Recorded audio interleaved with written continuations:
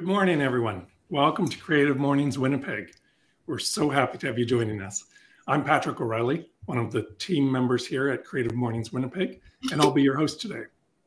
I'm currently joining you from Treaty 1 territory, the traditional lands of the Ojibwe, Cree, Oji-Cree, Dakota, and Dene nations, and homeland of the Red River Métis. I acknowledge that the water I'm drinking today is sourced from Shoal Lake 40 First Nation, while at the same time, many of our Indigenous communities lack clean drinking water, even today. Please tell us in the chat where you are joining us from today.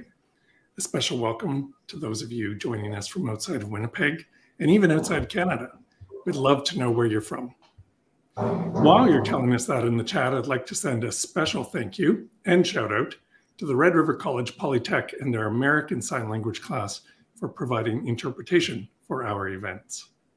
In our creative mornings, we are connected to the global community by our monthly theme, which this month is design. So our hashtags for today's events are hashtag CMWPG and hashtag CMDesign. Here's what's going to happen at today's event.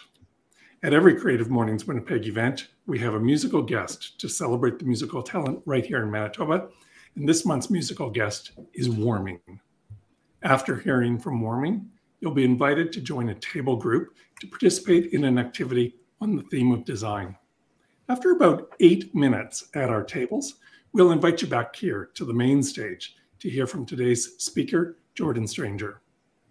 Before we go any further, please note Creative Mornings are recorded by video and photography, and we'll be using that video and photography on our social media, our websites, and by attending this event, you're agreeing to having your image, video, and chat comments recorded.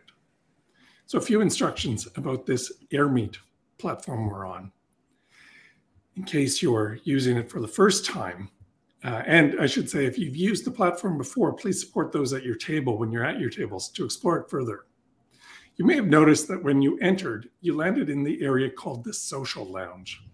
This is the place where you can hang out and meet new people at virtual tables.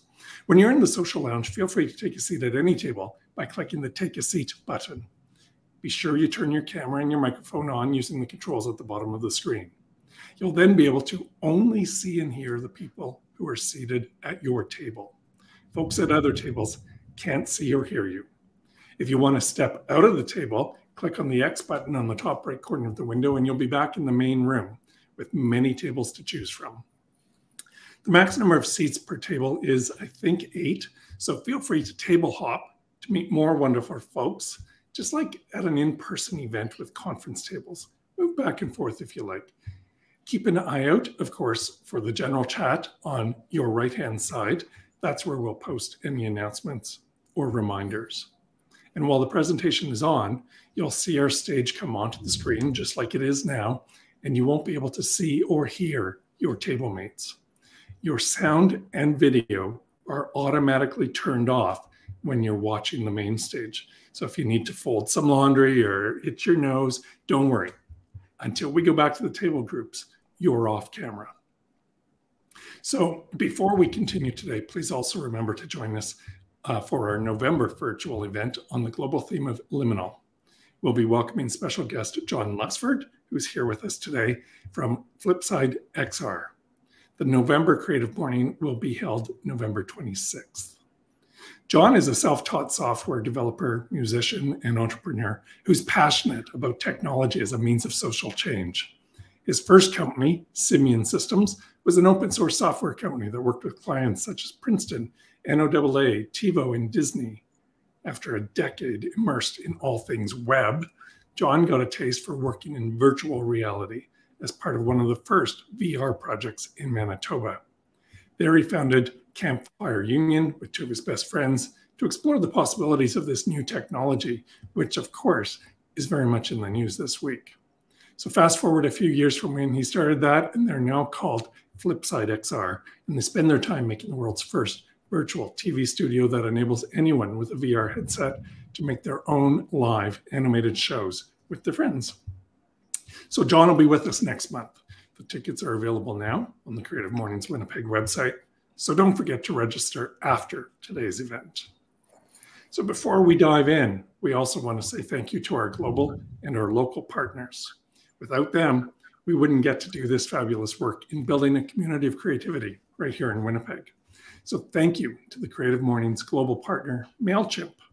2021 marks the 12 year anniversary of MailChimp supporting Creative Mornings. So, yeah, you heard that right. 12 years they've been supporting Creative Mornings. Their generous partnership has allowed CM to grow from just a handful of chapters to over 220 today. As true champions of the underdog, we are so grateful for their support, which makes all Creative Mornings events possible around the world. So, thank you also to Skillshare, our global partner for online learning. Skillshare has launched an exciting new opportunity designed to support the professional development of your creative teams. You can offer your team a platform for creative learning and development that covers everything from graphic design, leadership and management. Skillshare has everything your creative team needs to become better problem solvers, inspired innovators, energized leaders. So take a look at teams.skillshare.com. Thank you to our local partners also. You can see these awesome partners on the screen right now. To our Creative Mornings Winnipeg Steering Committee, I say thank you for your hard work and for bringing in these events every month. Thanks, team. We're also looking for new volunteers, of course, to support our Creative Mornings events. Everything from event day support to marketing, promotion, speaker support. The time commitment is totally up to you, and you'll be part of an amazing, talented group of people who care deeply about spreading creativity. So please reach out to let us know you'd be interested. And now it's time for some of our uh, wonderful local music, thanks to our partnership with Manitoba Music. We have a special musical performance by Manitoba performer Warming.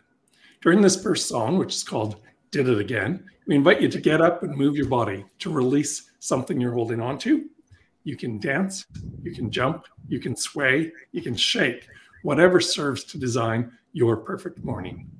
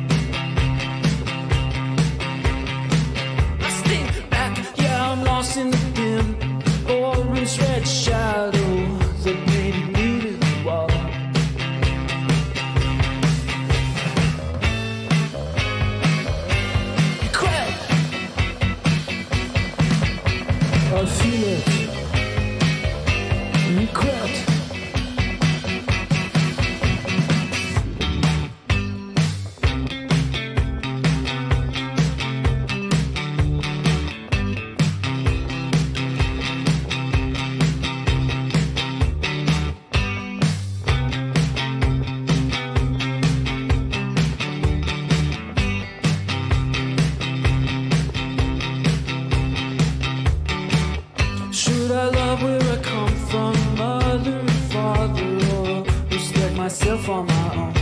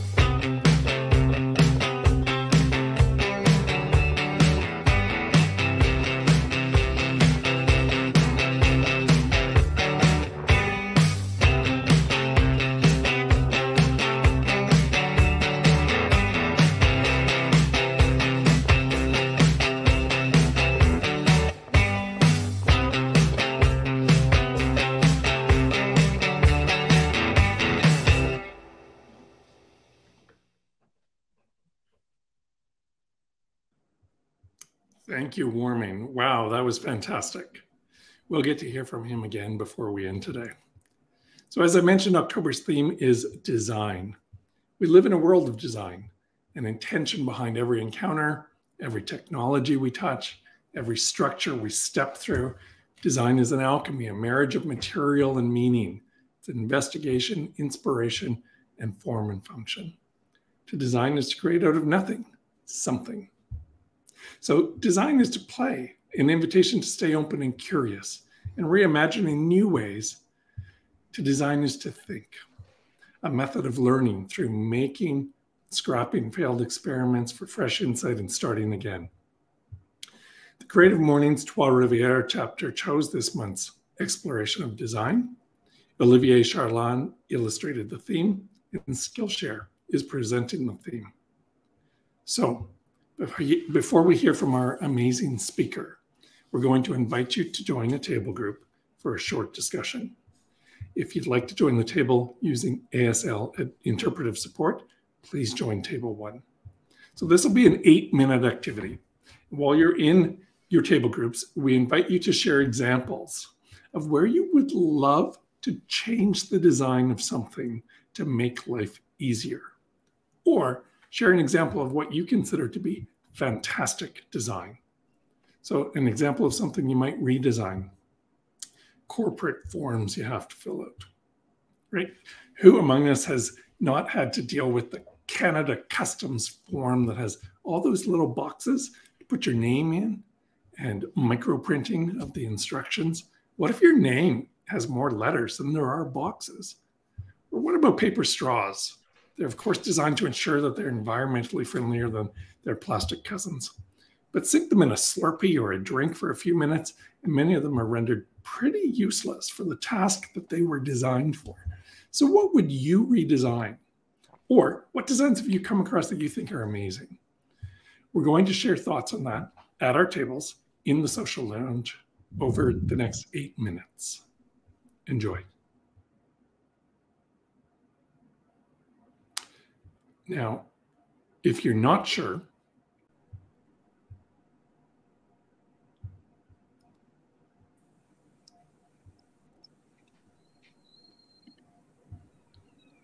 Hey, welcome back, everyone. I hope you had a great time with your groups at the tables. It would be wonderful if you could share in the chat what are some of the products or services that your group talked about as badly designed or having a great design. I'm now very pleased to introduce Suzanne Braun, one of our Creative Mornings Winnipeg team members. Suzanne is an experienced entrepreneur and the founder and managing partner of Relish. Since 1998, Suzanne has led the transition of Relish from a design boutique with one employee to an integrated agency of over 18. In addition to extensive experience in design and technology, Suzanne has a Blue Belt certification in innovation engineering, as well as a certificate in user experience design. Suzanne will be sharing our Creative Mornings manifesto, and she'll be introducing our speaker today. So over to you, Suzanne. Good morning, everyone. Creative Morning chapters around the world celebrate creative talent, but also promote an open space to connect with like minded people. Creative Mornings is guided by a powerful manifesto, which we read at every event. Here's the manifesto Everyone is creative. A creative life requires bravery and action, honesty and hard work. A creative life, oh, we are here to support you, celebrate with you, and encourage you to make the things you love. We believe in the power of community. We believe in giving a damn. We believe in face to face connections, in learning from others, in jazz hands, in virtual claps and virtual snaps. We bring together people who are driven by passion and purpose, confident that they will inspire one another and inspire change in our neighbors and in our cities around the world. Everyone is welcome. The Winnipeg chapter has also made a commitment to reflecting diversity and ensuring inclusion at all of our events. Located in one of the most diverse communities in North America, we are as inclusive as we are creative. And we will be creative in order to achieve inclusion.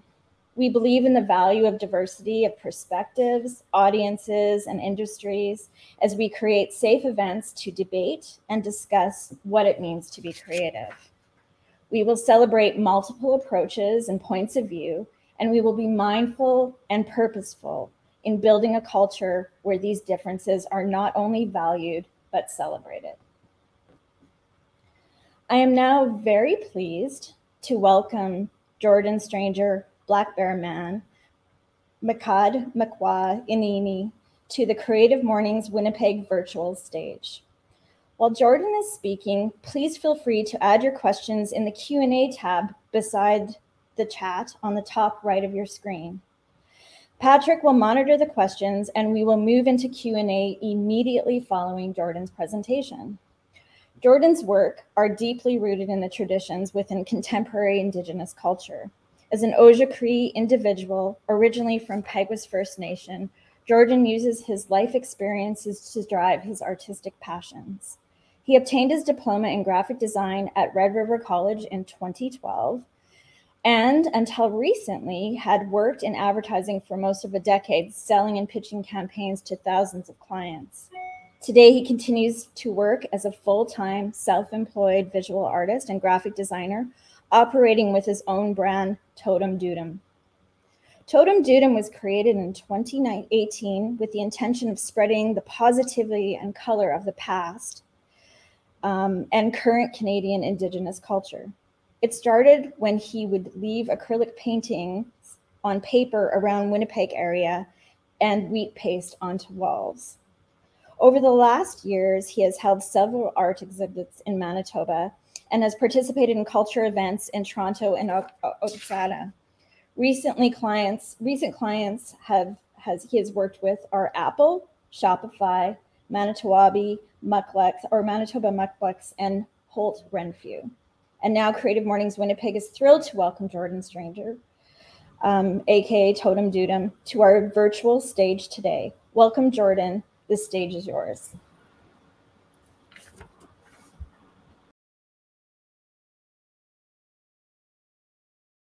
beginning here. Um, so let's uh, start the presentation. Uh, thank you all for being here. This is very awesome, and I'm looking forward to sharing bit of my process um, and exactly what it is that I do as a creative person in, in my studio and in my home. So here we go. Uh, hello, Panse Buzu. Uh, my name is Jordan Stranger.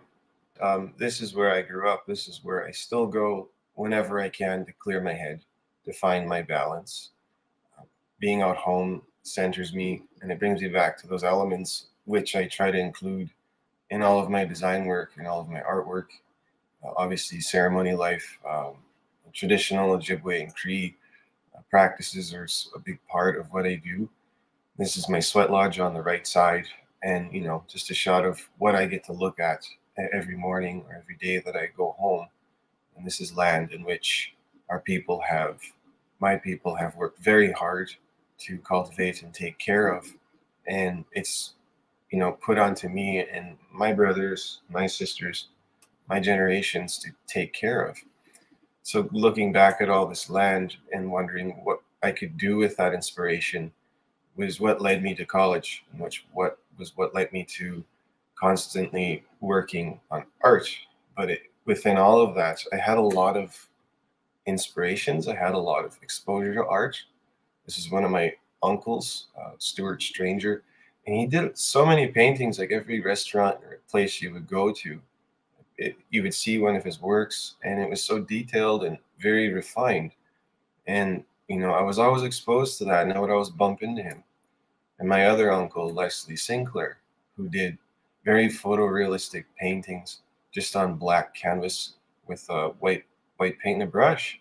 And he started painting on cardboard because you know back then he couldn't really afford anything.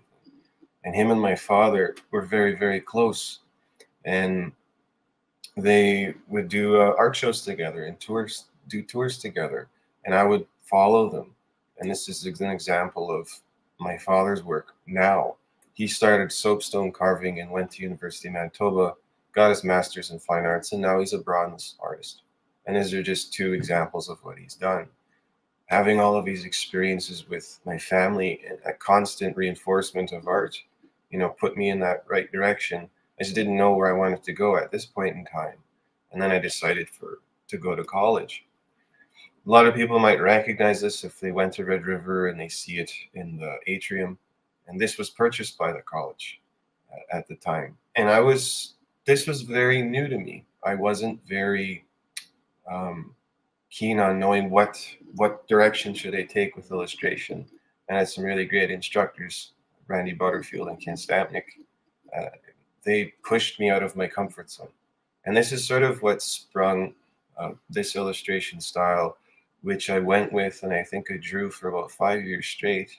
Uh, my arm, my hands was very tired because um, this is all done on black paper with uh, pencil crayon. And it was very detailed work, and I really wanted to capture the regalia and the design of clothing, get the beadwork and all the patterns um, into what I do, just to share it with people. So this image is, you know, her hair is sweetgrass, and she's holding cedar. And since it's a jingle dress dancer, um, you know, loving powwow and regalia, this is uh, representing all the medicines uh, on her dress, which is, you know, all about healing. And having done some, you know, more than a few pieces, I had a, a few art shows, and this was one of them. And this touched on the residential school legacy. This touched on the Indian Act. Um, very big problematic policy, which is still active today, which should honestly be burned. Um, and, and to show those mock graves of children at residential schools. And the, the challenge was to get people to walk over the graves and to get to the artwork. And a lot of people said, no, I don't want to do that. And I told them, well, that's what reconciliation is. You know, we have to see what's in front of us. We have to acknowledge that tragedy. And I told them, you know, these graves aren't real. These are, these are just piles of dirt in a gallery but they still felt that way. So that was my idea was to challenge people and to show them the realities which we live with every day. And it's not just indigenous people, it's everybody in Canada. So we're all affected by that. So after taking that artwork in that direction, I wanted to change it up a bit. I had had fun with pencils, I had fun with paper, and my arm was really tired. So I wanted to put my design skills to work and think of and rethink of how can I put you know my work out into the world, and that's what sprung totem doodem. Uh, totem is just a, a, word that you use for a, a, marker, something you leave for navigation, and and doodem is clan in Ojibwe, and I'm from the Bear Clan, so I wanted that language aspect in the name, and to have that four direction uh, circle there, just which represents me and I wanted to leave bits and pieces of my my culture and my clan around. And from the Bear Clan, our role is to you know protect and have medicine and heal people, and also educate them. So that's what I wanted to do with my work, and it started simply with just post-it notes. Um, in college, they got us to create thousands of little thumbnails of something, and it drove us all mad but it was worth it because it taught us that value of repetition and fine tuning and figuring out that design and what's the best option. And, you know, there really never is the best option. There's just the one that you like the most. That's the way I view it. So I would do these for hours. I would keep creating post-it note after post-it note. This just the goal was to create simplified messaging, and it was like logo design and many other aspects of that. And I wanted to share stories of which I'd learned and many things in which I had the privilege of knowing and and you know being able to share that. And I would sit in my time, my downtime, and do these things. And eventually decided, you know, I I I needed to get them out there. So I started doing that. I was in my basement. I started painting on just scrap paper. And I kept going one after another, repetition. And I self taught myself how to paint. Nobody really showed me how. I knew the process, but I just went with it.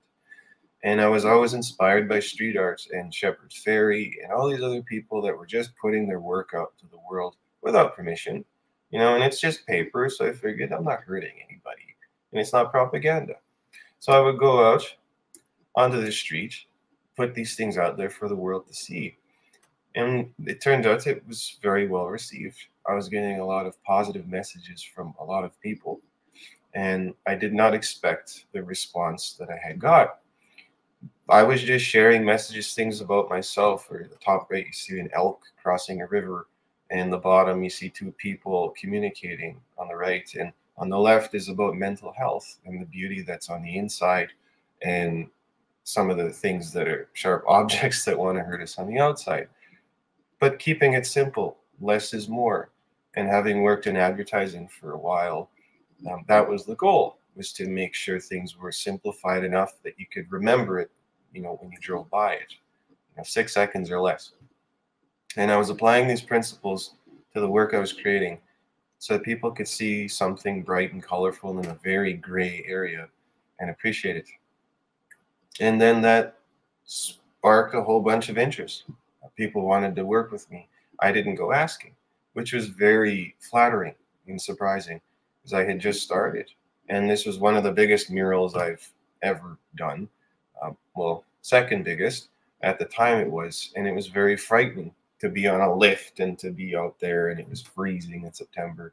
And it was a learning process. And I was challenging myself and you know that was a challenge for me. And times have evolved a bit since then. And that means, you know, more opportunity, more murals, thinking of the design on that wall and how can I utilize that space. And, and, and there's all of these other learning curves and things that go into um, not just painting, but planning a mural, planning a project you know, these are still at the South Isle right now at the Forks, which was done for Manitoba 150. All of these designs were just things that I had started on a post-it note, which evolved into a more refined piece of work. And that's just how art evolves. Same with design. A lot of people say, you know, you are a painter, but a lot of your work has design elements that's just, you know, you can't mistake it. And a lot of those elements I learned from college, which I'm very grateful for and then this all led to my own solo art show with that style of work, which I really felt was valid. It needed to be put out in the world in that way, in a very sacred way. And I, you know, had an amazing time. And this was in uh, 2019. You know, and this whole show was a very healing uh, process. It was for everybody else to heal. It was for everybody else to absorb the culture and see what it was and for what it was. And, you know, I had people come up to me crying uh, because it touched them. And I was just grateful to have had that experience. And, you know, I will be having more. But this is, you know, was the start of something that I did not expect. Um, when you try to do things on your own, when you're you're pursuing your craft, and you're very uncertain of the future. And I was really nervous, but you know, the work spoke for itself, and people showed a huge interest in what I do. And at this point, things started to get very, very busy and in terms of design. And I went off and, and partnered with Festival du Voyageur, and they contacted me and said, you know, we love your work and we want to work with you. And they wanted to revamp and rebrand their festival because they felt that there wasn't a lot of people that were um, non francophone speaking showing up. They were showing me stats and the stats were, you know, very interesting. they wanted more indigenous people to show up. They wanted to honor that history of the culture and the Métis people. So I created this, and it was all mainly just hand drawn and then turned into vector design, and that led to creating a campaign for them uh, with the, the outdoor ads and so on. And we had other artists, me included, painting these backdrops for the stages, and you know that was a huge honor to be a part of that and to have been given free rein uh, on the design and said, you know, we trust your judgment. That's extremely flattering, you know, to have that be given to you. And I'm, I'm, I'm extremely grateful. And we're still working together today. And then, you know, other logo designs, things that I'm passionate about, the culture. And I get a lot of indigenous organizations contact me asking, what can we do together? They give me their vision and I create the visual for them. They tell me and they direct me, and we work together, just uh, back and forth with the client as usual. And I'm allowed to put my own spin and twist on these things, and they are very welcoming in that process. And a lot of these are done for different organizations and reasons, and there's a lot of symbolism behind these. For instance, the red pipe is a female pipe in the center of this logo in the moon, and the bottom right is, you know, a male pipe and then there's that balance. There's the sun and the moon, the dark side and the bright side, and those points for the stars, and those flower petals for growth. And all these have very simplified meanings. Once it's explained, it becomes more clear. And in turn, you know, we've accomplished our goal, which is to create that message. And this was a lot of fun to do. And then more recently, I had worked with Apple um, for National Indigenous Indigenous Heritage Month. And that was a big deal for me because they handpicked me out of many, many wonderful Indigenous artists in Canada to represent Indigenous people. And that was um, a shocker to me. And we had initially met, and I had worked with a creative director in London, England, and I had been coordinating with other people from Thailand and Tokyo and other places. And it was amazing and astounding to just be a part of that process once again to learn about interface and understand where these this text is going and what exactly will these be highlighting. And all of these illustrations i did for them you know represented different uh, applications. So different apps for different things language culture reconciliation and many other subjects and these were just the header piece and i realized um, this went worldwide. Anybody who had an iPhone was able to see my work. And that that point, I realized, you know, this is a very big deal. And my parents were extremely proud. You know, they were crying. Uh, they they were just astounded, and so was I. You know, me and my my my good friend who was my assistant, um, we were both just freaking out because it had found these people and it had reached across the world, and they wanted to work with me. Um, but you know, uh, the story goes on. It's it, these these pieces were worked on for hours and hours, constantly tweaked. I had very good direction from the director, and you know, these they're awesome people, and these initiatives for highlighting indigenous culture today are extremely important.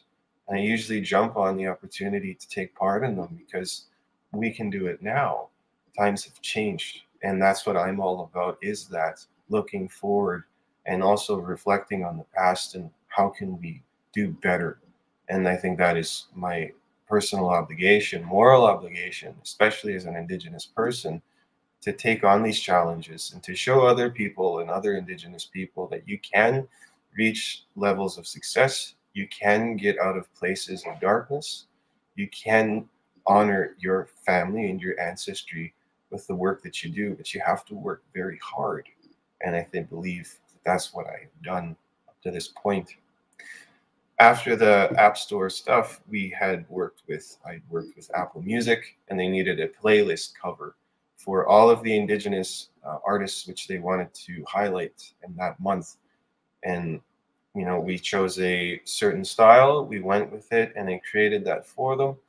And then later on, they implemented that design into their interface and animated it. And I thought that was really great.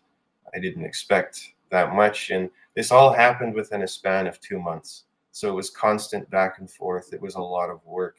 Even though it's digital and it seems simple, there's a lot of critiquing, there's a lot of process behind everything, and there's a whole bunch of sketches that I just didn't show you today. So with that, um, I believe that's my bit. Um, thank you all for listening. I could go on and on, but I think this is as much as I can do today. So, miigwech. Jordan, thank you so much. This was amazing. Thank you. Merci. Miigwech. The uh, not only to see your amazing art and how it's affecting people around the world, but to hear your own story of um, starting literally in the footsteps of your father and your uncles as you traveled with them uh, in the art they were making, and then to see you bring that to life through the the various phases, the post-it note phase we could call it, and um, it was also great to hear how what you learned at Red River College Polytech was built into some of what you were doing with your art when you mentioned the idea of um, the paintings you were doing as street art and that the message had to be seen in six seconds as people were traveling by that that idea of um, understanding the principles of advertising and bringing it in to such an important concept with the messages in your art. Thank you for that would you mind taking a few questions from the room?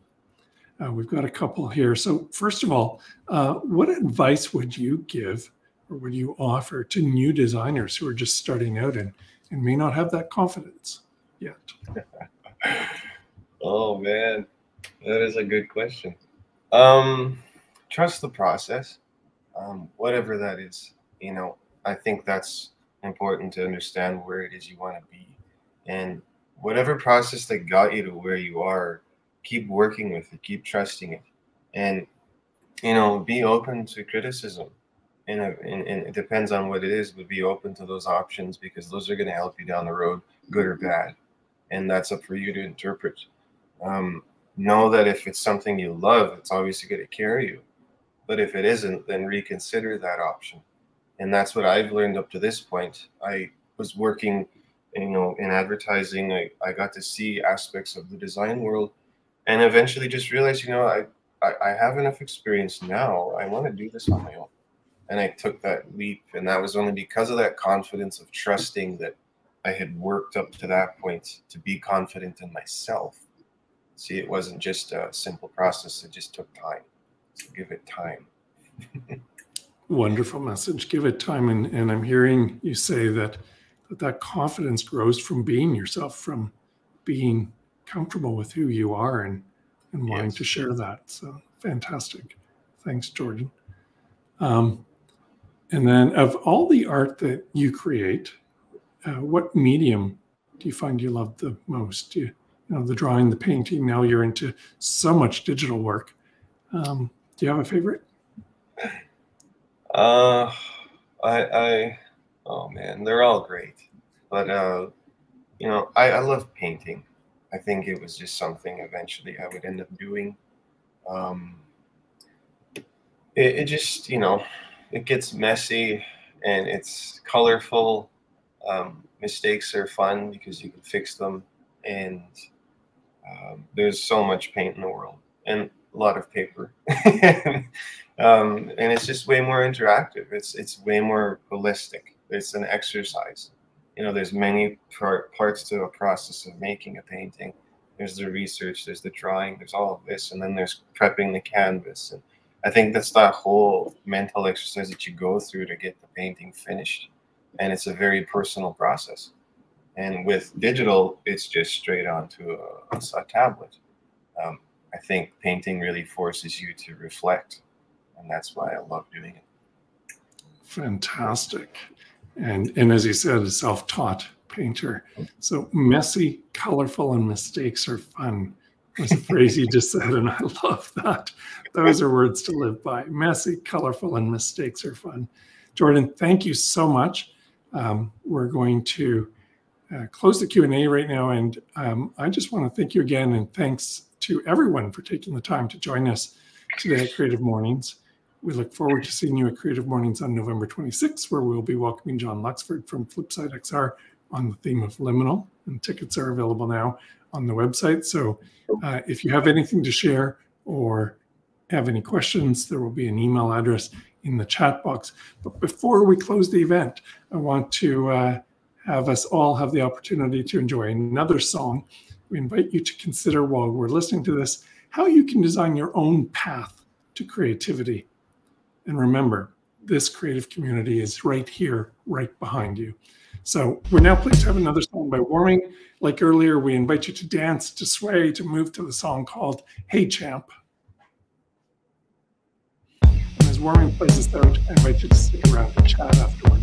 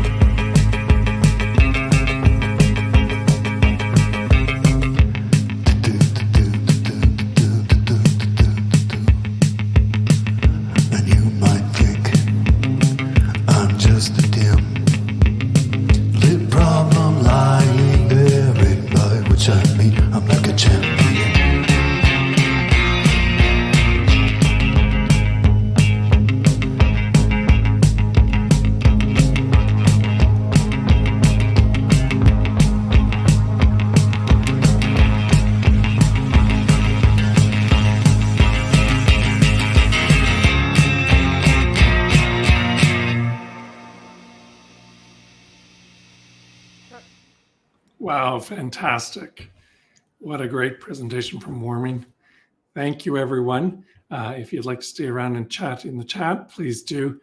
Otherwise, wherever you are in the world, have a wonderful weekend, and we hope we see you back here on November 26th. Have a great day.